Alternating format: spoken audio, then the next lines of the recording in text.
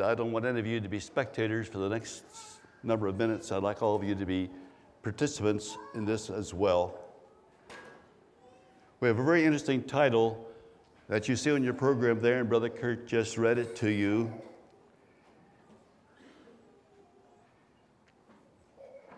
Really, there are three sermons here Gelassenheit, Community, and Brotherhood Agreements. At least three closely related concepts are here. The first two words in that title are words that are not found in the English Bible, though the teaching of those subjects is certainly there. But the title suggests a relationship between the three of these, with the evident focus being on the last one. But the title begins where Christ began. If we are agreed with each other, we would be able to make brotherhood agreements.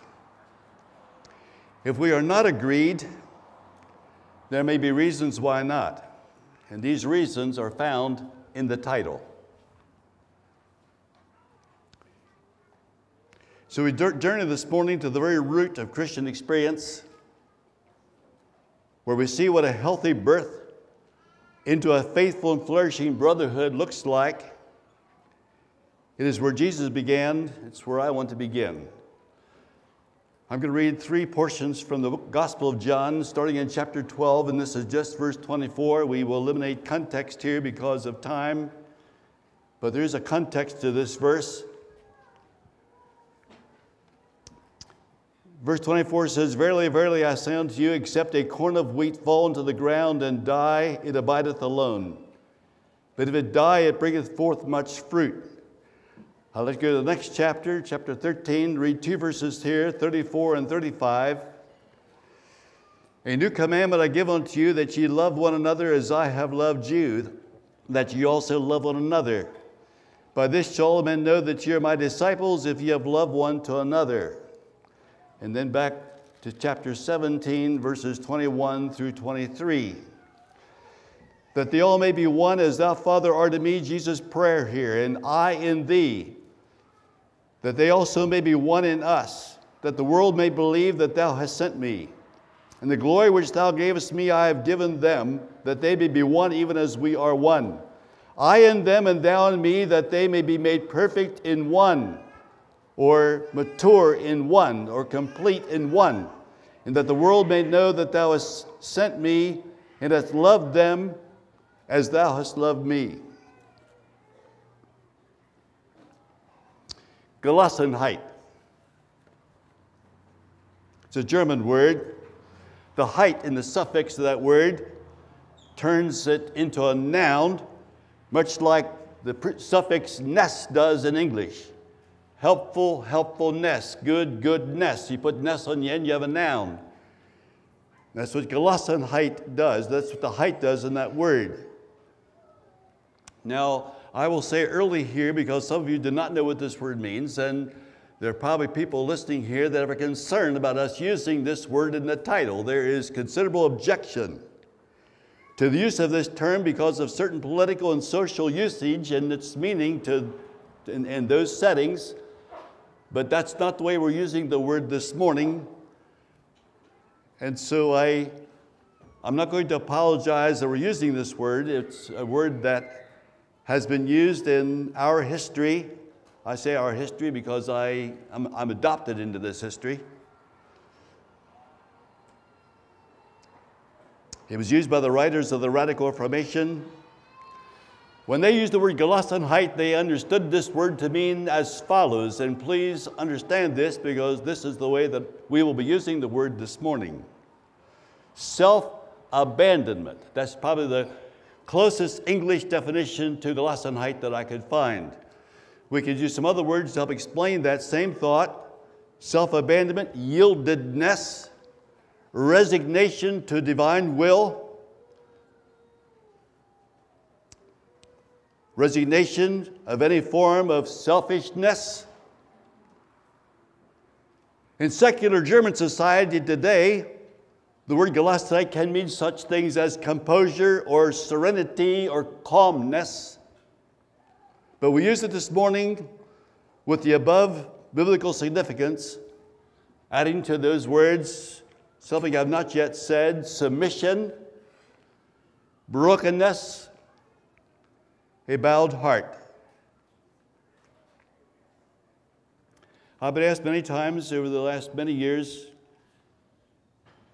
I want to be a missionary. I feel called to a certain place. I would like to prepare my heart. How do I do that? What should I do to be a missionary? Somebody asked me if I should get a, if he should get a pilot's license. Some girls asked me if they should go to midwifery school. Some want to know if they should get some medical training. I've been asked if they should go to a school and learn to take some language study.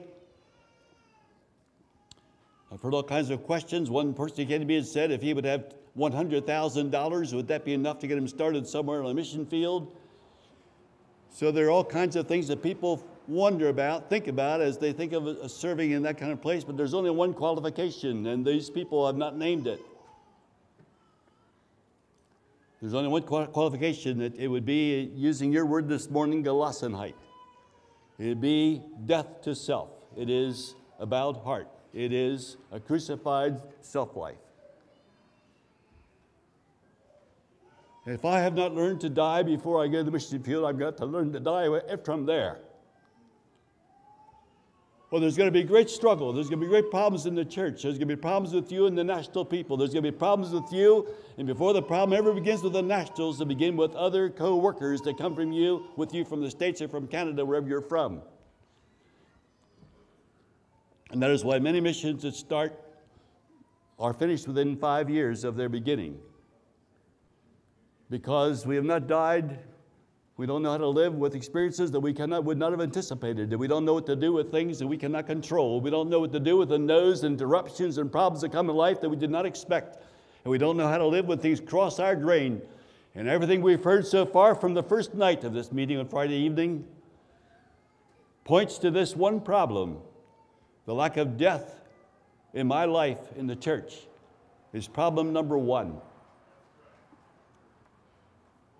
And Jesus began here. He began with this theme, and we need to begin with this theme. If we have not experienced the joy of submission, we, we, we never can experience the joy of it if we can't submit. We can't do that. We just cannot do that. I, I will not do that. You don't know who I am. I don't need to submit here. Somebody else might have to, but not me. We have no joy in submission. We see this word Gelassenheit, this self abandonment, in the kenosis of our Lord Jesus Christ. And I'll turn you to Philippians chapter 2. You can see it there. That's a Greek term. It's in this passage of Scripture. It's in verse 7. I will read it. The self emptying of Christ, the voluntary denial the voluntary self denial that was so evident in the life of Christ himself. Philippians 2, verse 7. Your English Bible says, But made himself of no reputation, took upon him the form of a servant that was made in the likeness of men. If you have a Spanish Bible in front of you, it says, Se despojó de sí mismo, which means he, he emptied himself completely. And it, it takes few words in Greek to say that. It's a verb form the Greek word here is a verb form emptying, empt- self emptying, of yourself. Kenosis is a noun form. But this whole passage of these seven steps that Jesus took, coming from his eternal glory to the death on the cross, wherefore God hath also highly exalted him. Those seven steps are his kenosis. It was a voluntary choice that Christ made. And, and no self denial, and no Gelassenheit, and no abandonment is of value if it's not voluntary. And I could take a young man and bring him up here this morning and have him stand here, maybe a boy, boy small enough that I could handle, let's say he's 12 years old. And I tell him to stand erect, and so he's standing beside me erect. I take my hand around his neck and I bend his head down until he's bent, and I put him down to the ground. That is not self abandonment, that is not self emptying. But here's this young fellow, 12 years old, and he's facing something in life that's difficult for him. He doesn't know what to do about it. Instead of fighting it and resisting it and trying to stiffen himself up, he bows. He bows over voluntarily. This looks like a negative word. I'm going to use that word later on. It looks negative, this whole thing of denying, surrendering, this whole matter of allowing self to die. It sounds very negative. But I read that verse to you. What do we expect to happen until that happens? What kind of life can be infused? What kind of divine nature can come in? What kind of change can we have in the church, in my heart, until I've done that? I live with this thing. How is the Holy Spirit of God going to infuse and fill a life filled with self? This resistant, proud, prideful, I will have it my way spirit. I can afford to do it. I'm going to have it my way. I don't surrender. You don't see me yield. I will not die. I'm in charge here. I have a handle on this thing. This is the problem in the church. And I'm sorry, but there's some elders and bishops that have that problem too. It doesn't work, work, work, very well. And you saw the triangle on Friday night. And don't forget that triangle. But the, good, the teaching was fine. But there was something else wrong. And let that teaching come out of a broken heart. Let that teaching come from a bowed spirit. Let that teaching come from someone who's meek and gentle and lowly. Let that teaching come from the lips of the Lord Jesus Christ and see the power that it's going to have. Let the life match those words. Let the testimony of the life be equal to the eloquence of the teaching. I can talk, but I can't teach until I practice what I preach. Jesus never needed to say that because he always practiced what he taught. Seven steps of surrender found in this passage, which we call the kenosis, the self emptying of Christ. But the question is, has it happened to me? Now, these surrenders of Christ, and there was really only one, but it had multiple applications in his life we see through various steps in Christ's journey. Lo, in the volume of the book is written to me to do thy will, of God. And, and, and there, that decision was made. That was probably the, the Logos of God making that decision in eternity past. I will do that. I, I will go there. I will do that. I'm willing to do that. I do thy will. I come to do thy will. It was, it was a plan that he made, it was a decision he made. When you start your day, you pray that. You have no idea what God's going to bring into your day. You have no idea how it's going to turn out. You don't know how this is going to result by the time the day is over, but you start off with this confession, with this, this decision, with this surrender, with this offering to God. I do thy will today.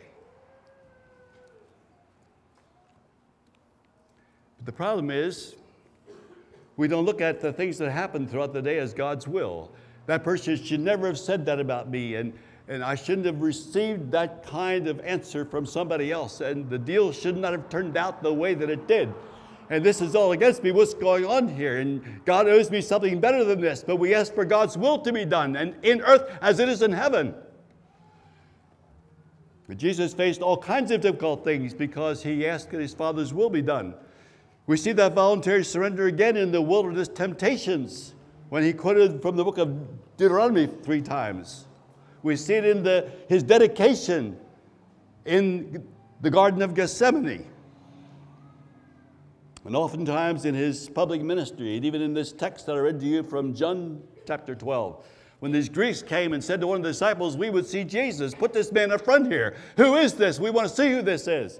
And how did Jesus answer that? Um, show yourself, uh, prove, it, prove it to us except a, a corn of wheat fall into the ground and die. If you want to see the, if you want people to see Christ in your life, if you want people to hear Christ in your message, if you want your children to see Christ in your home, your wife to live with this spirit, I, I give myself. No resistance and no fighting. I'm done. I accept it. It's all right. May God's will be done. That's Gelassenheit.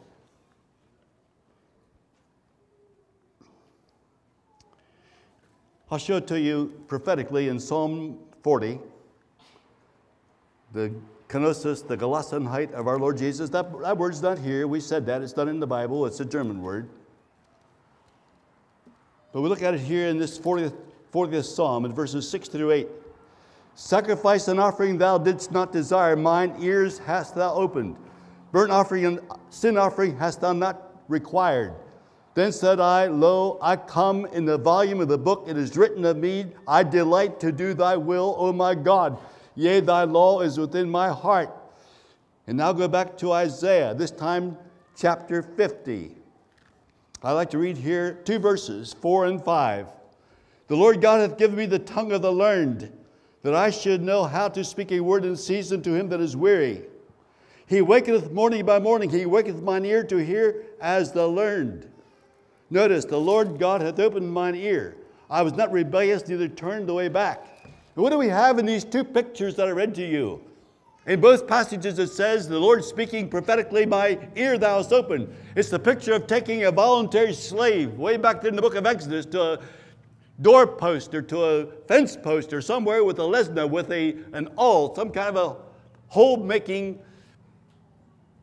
tool there, and put that hole into his ear pierced that right through there. And the ear was opened, and this hole was put in there. And everyone that saw that slave from that day forward knew that he was not there against his will, but totally by love and voluntary service chose to serve his master in this way. And that's way Christ came. And so you don't have your ears pierced this morning in a literal sense. You look in the mirror, you don't see any holes in there, but Jesus, Jesus didn't either. But prophetically and spiritually, that's what happened to him. He, his ear is open and he's doing it voluntarily from now on. And what takes place in his life, God has total right to bring into his son's life anything he wants him to do. And the reason why Christian life is boring, or we need more kayaking, or somehow more skiing, or somehow who knows what kind of game to play and earplugs to put in it's because we're not experiencing the work of God in our hearts. God is not using us the way He'd like to use us. And we're not available to Him. And we would resist it. And He gives us the little tests. We get one after another after another, God gives us, and we, we fail the test. The heart is not surrendered, it's not submitted. And, and what can God do? He takes us no further, He uses us no more. That's as far as we got. That's what's wrong with the church. You're preacher and you're empty and you're hollow and you feel dried up. You feel like it's not working in your life. You feel like you're going through emotions. You're looking at the problem right here. It's time to bow that heart and say, Dear God, how many times in the last two months did you run into resistance in my life when you brought things into me? And, and here I am. And this morning I must bow. This morning I have, I have wasted your strength long enough. I've grieved your spirit long enough. I have held off your service, my service to your cause for long enough. I yield my heart to you. This is what Christ did, and this is what he taught us to do. This is the call of Jesus to our own hearts. I said it's where the title begins where Jesus began. Here's where Jesus began Blessed are the poor in spirit, for there's the kingdom of heaven. Poverty of spirit.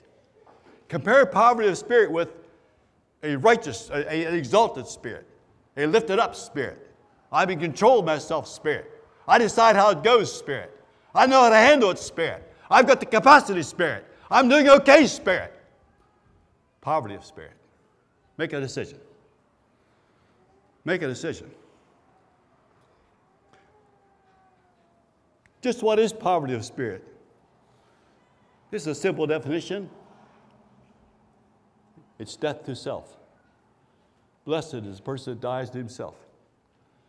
Blessed the person that does not have that to carry around, that old self to carry around. Can you, can you imagine here's Dale Heisey up here. he's got these papers in his hand. He's got a Bible open on this pulpit. Can you imagine him with this, with this body that he's carrying around? This, this old man that he's carrying around, this, this life of flesh he's carrying around, this selfish nature he's got to carry it around. Every place he goes, he walks with it. He tries to talk and it gets in the way. He tries to do something, and here it is. It's a hindrance. You carry this around, and Paul asked the question Who shall deliver me from the body of this death? And one, one surrender, one trip to the cross, one laying of self down, one corn of wheat falling to the ground and dying. take care of it. Until that time it remains alone, it abides alone, and then who gets any benefit from it? That's poverty of spirit. That's where Jesus began. Start right there.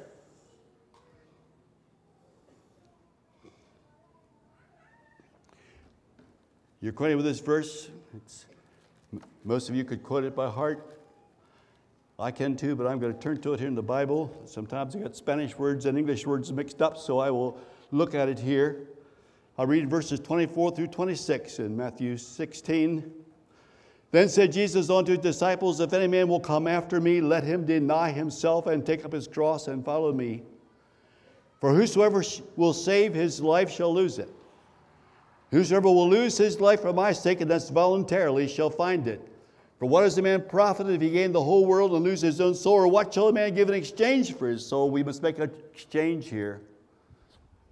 We decide to lose this old life. This life I just talked about, I'm carrying it around. It goes with me wherever I go, and people can smell it and see it. and Before they even get close to it, they know there's something wrong with him. What is wrong with that? And there's a spirit there that should not be there. There's an attitude towards myself there that should not be here. It's a hindrance to the cause of Christ. It grieves the Spirit of God. It cannot be used of our Lord. And, and, and our, the Holy Spirit of God would like to infuse this and use this, but it cannot. I must do something about it. There's something to be gotten rid of first.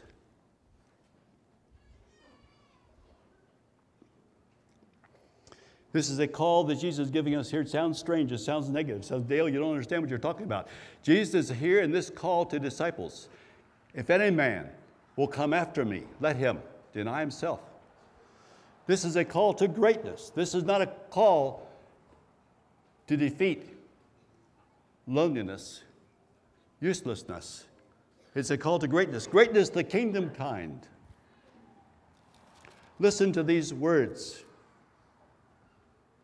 Whosoever therefore shall humble himself as this little child, the same is greatest in the kingdom of heaven.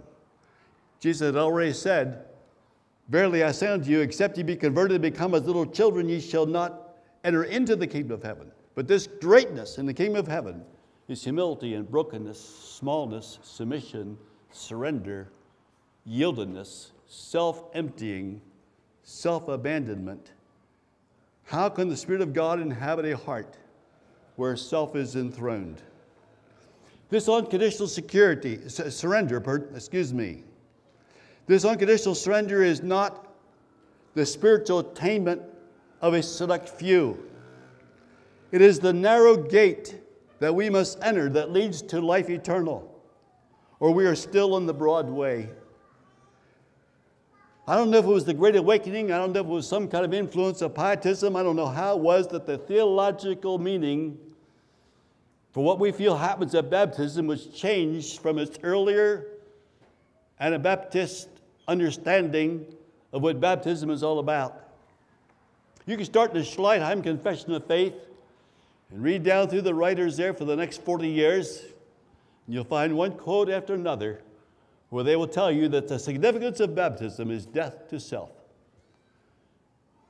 And so when those people go to those baptismal waters, they understand what's happening here. I go in there with too much of me, and when I come out of there, something of my own I choose to leave behind. It's not that the water washes that away, it's a choice. It's a, it's a, it's a verbal, it's a practical illustration of what I want to happen to me. And when those Anabaptists took their new converts into that water or used the water with them, however they did their baptism at that time, they understood that this means I want self to be slain. I'm going to ask you a question. When's the last time you were in a baptism that that was the emphasis and that was understood? And the people who were baptized knew that though they had a choice before in life, they have none now.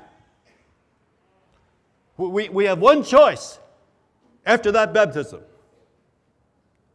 The choice is this I choose for my life what God has already chosen. That's, that's, that's the only choice. Beyond that, there's no other choice.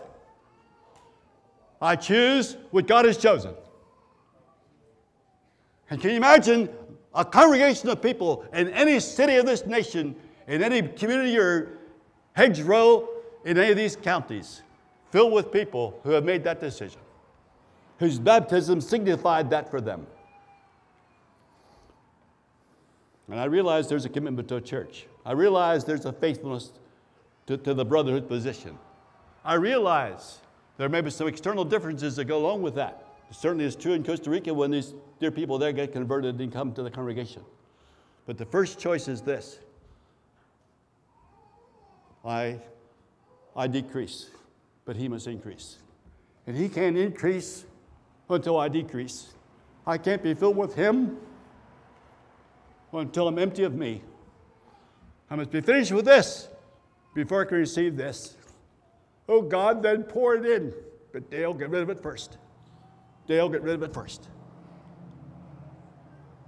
That's the message we're looking at here.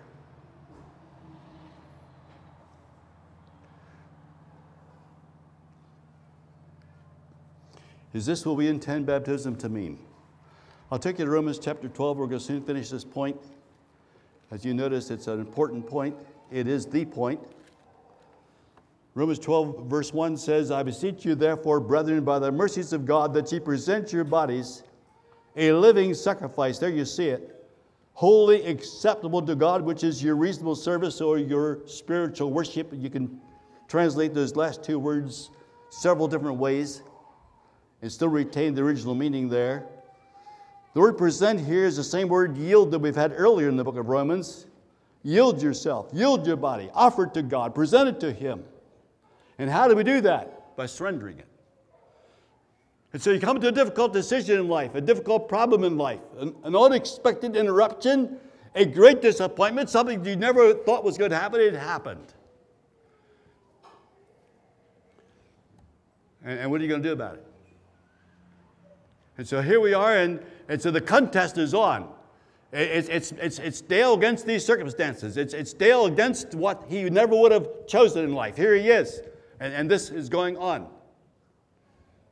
But there's, there's advice for us here. There's a command for us here. There, there's an, an opportunity here. There's an invitation in verse 1.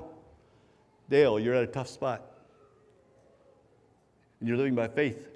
And though you made that surrender years ago, you never made this surrender before in your life. You've made many surrenders in the past, you've never made this one. You, have yielded, you, have surrendered in times past, but you've never done this one. Bow your heart, Dale. Go under. Lose it. Don't hold on to it. Give it to me. Surrender it. Turn it over. The miracle happens right there. That's where the miracle happens. And the miracle doesn't happen until that happens. And when we do that, something glorious takes place in our lives. The, the life we now live in the flesh, we live by the faith of the Son of God. The word flesh there is body, by the way. We live by the faith of the Son of God who loved us and gave himself for us. And that's the beautiful thing that happens. It's a miracle that happens there. I'll show you this to you without these words being used, but the thought is clearly here in Revelation 13. You can see it in these precious early Christians. In verse 10, look what it says he that leadeth into captivity shall go into captivity. He that killeth with the sword must be killed with the sword. Here is the patience and the faith of the saints. Here is the Gelassenheit of the saints. Here is the self abandonment and the surrender of the saints. Here is the victory that comes because there's yieldedness and self denial. Here is the victory that comes because life was yielded to God. In chapter 14, we have the same thought in verse 12. Here is the patience of the saints. Here are they that keep the commandments of God and the faith of Jesus, and we can't do it any other way.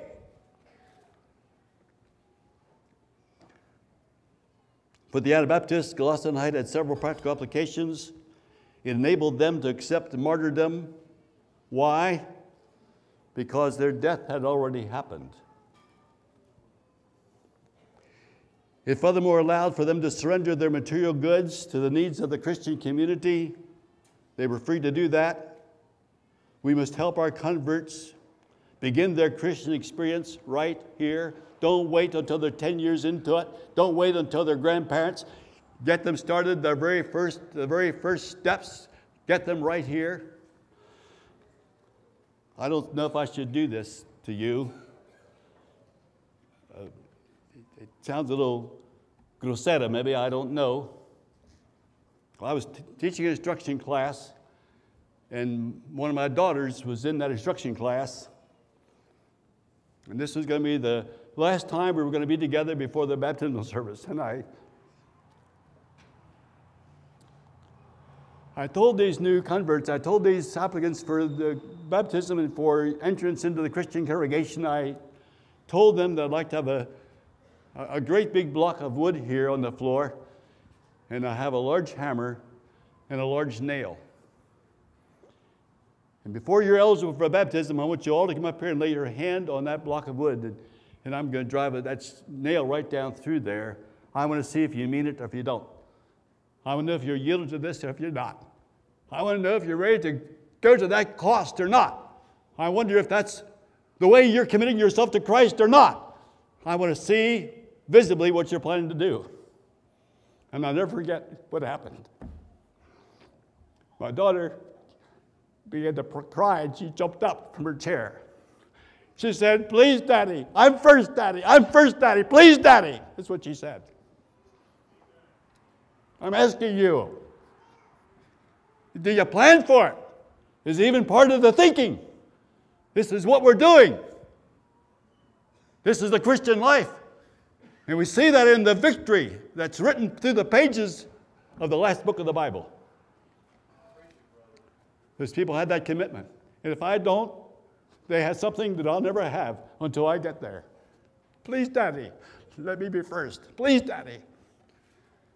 This morning, you don't need someone to drive a nail down through. There's something more holy than that that must be done. There's something deeper than that only God can do. And He'll do it this morning. He'll do it this morning in your life and my life. He will do it. Community. So, this is how disciples of Christ are born a company of the committed, a gathered assembly of those who daily choose what God has already chosen for them. Your Greek word is ecclesia, the called out ones. Now, listen, this is true nonconformity. This is true separation from the world. In what way? Where self is denied and the flesh has died and the torch is aflame. That's true self, that's true nonconformity to the world. The world doesn't understand it. And whenever they run into that spirit, run into that experience, run into someone who has lives that way, they, they notice that. Quickly they notice that.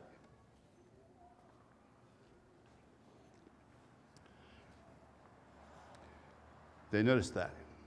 That's what true separation from the world is. Can you imagine what would happen if 120 people like this would meet together with one accord in one place in an upper room?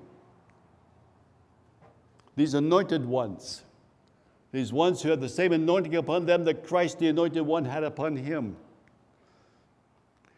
God has sent forth the Spirit of His Son into their hearts, into our hearts. Yet they are known yet for something more in this community. We've already read it. By this shall all men know that you're my disciples if you have loved one for another. That's the ultimate witness. According to Jesus, in that passage in chapter 13, and then repeated in chapter 17, where we read this morning, there is no higher witness for Christ in this earth than for the world to see the community of Christian people the local brotherhood, the assembly of the saints in deep love for each other as Christ loved them. Practicing the golden, the golden rule, first of all, among themselves and then with those who live outside the Christian community. The ultimate witness. What is Christian community? Well, it's certainly more than a colony. It requires more than so much acreage and some distinct architecture to create a Christian community. It requires koinonia, the fellowship of the saints, where I see my brother's good as my own, where I see Christ in my brother. This is why we can esteem our brother better than ourselves. And just think about this it'd be awful hard for there to be any gossip in a Christian community where this is the way we thought about our brother. In this community, there is one accord. In our Spanish Bible, we don't have that word in the book of Acts. It's the word unanimous every time. Unanimous. One heart, one voice, living in harmony, as we heard last night from Psalm 133, verse 1. The word symphony is used in Matthew 18, verse 19. The verb form of that word being or symphonizing one with another in the church. All these voices and hearts and gifts contributing to a holy orchestral philharmonic sound, symphony. How do we become one? We have this verse that has identified Kingdom Fellowship Weekend now for many years. The verse reads like this And they continued steadfastly in the apostles' doctrine and fellowship, and in the breaking of bread and in prayers. That is what they did. Why can we be one? Because we all have one Logos. And we've seen him living, Christ.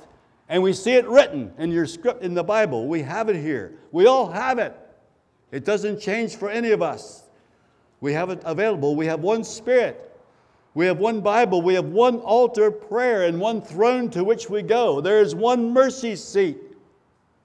There's only one light and one love, and it is God, according to 1 John. We have all experienced the grace of God. It's amazing that when Barnabas got to Antioch, sent there by the apostle in Jerusalem, the first thing he saw when he got there was the grace of God. And I might have a brother and a sister in the congregation that have some needs and they have some struggles, and then things are not going so very well. But there's a grace of God that's evident there. And so we have worship. We join in worship with those four living creatures and the 24 elders. We stand in silence and adore.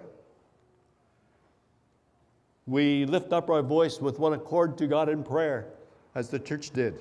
So are we experiencing community? I see I must bring this to a close.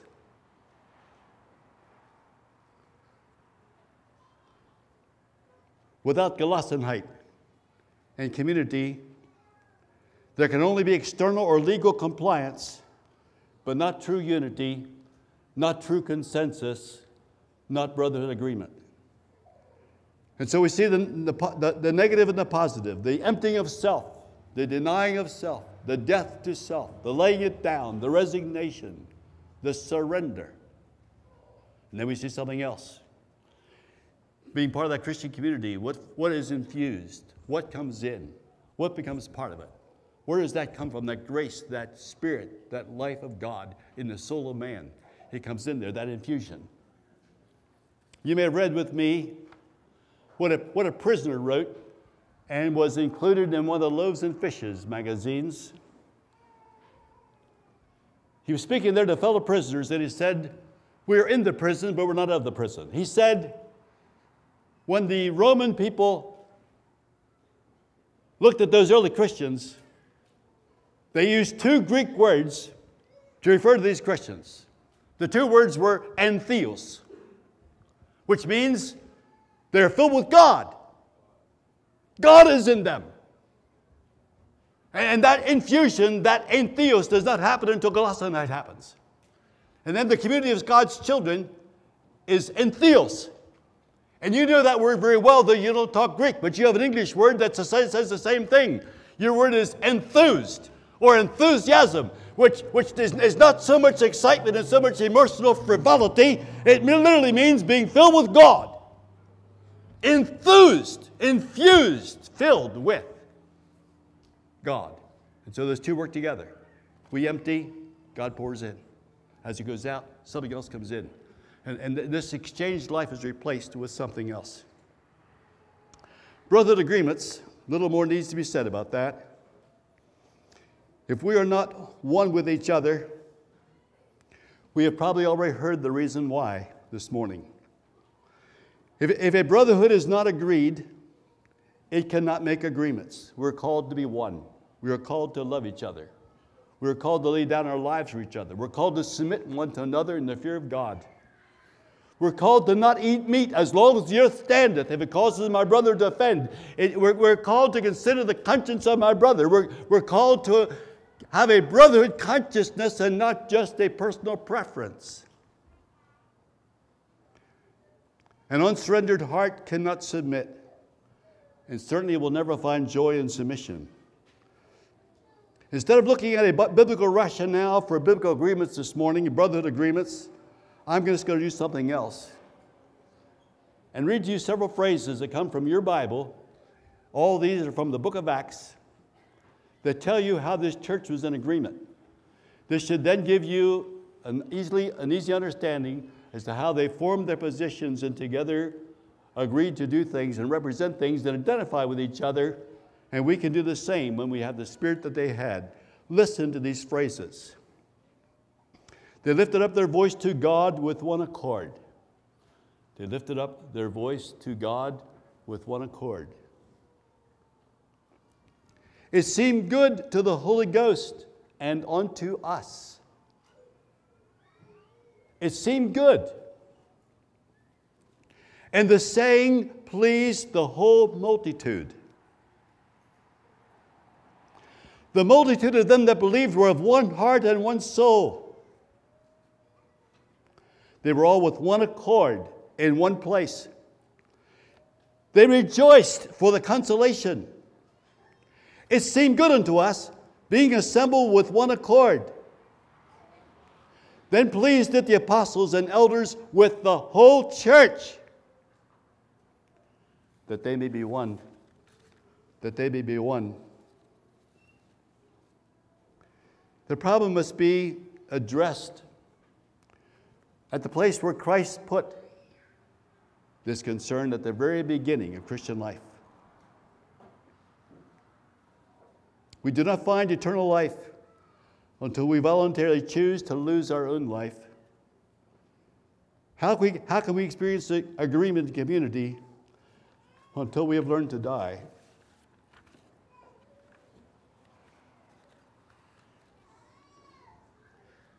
I don't know if this person has learned to die. If she has learned to die by now in the last four days, then I'm happy. But I'll tell you what happened four days ago when I told my wife that I think we should go visit a certain home. It just seems like there's a problem. This, these people are not members of our congregation. I just had a, a love, a concern for them. And we got there, and the man I wanted to see was not home. His wife came out and met us outside the house at the porch. I was not there two minutes. And here's what she said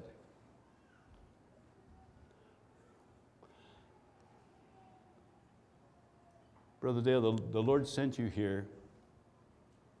Thank you for coming. I know you came to see my husband. You wanted to help him, but it's my fault. I'm the one that's wrong. I have such turmoil in my heart, Brother Dale, I don't know what to do. Can you help me? I am the one that needs help.